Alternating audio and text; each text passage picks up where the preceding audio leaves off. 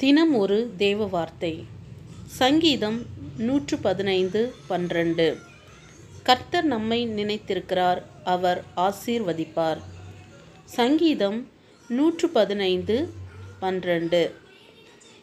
கர்த்தர் நம்மை நினைத்திருக்கிறார் அவர் ஆசீர்வதிப்பார்.